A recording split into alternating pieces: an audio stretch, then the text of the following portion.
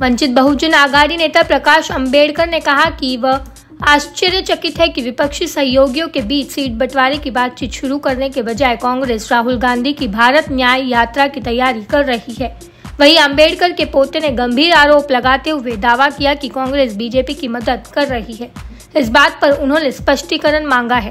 महाराष्ट्र में वंचित बहुजन आघाड़ी के नेता प्रकाश अंबेडकर ने सीट शेयरिंग मामले में गंभीरता नहीं दिखाने की बात कहते हुए कांग्रेस की तीखी आलोचना की है। वंचित बहुजन आघाड़ी नेता प्रकाश अंबेडकर ने कहा कि वह आश्चर्यचकित है कि विपक्षी सहयोगियों के बीच सीट बंटवारे की बातचीत शुरू करने के बजाय कांग्रेस राहुल गांधी की भारत न्याय यात्रा की तैयारी कर रही है।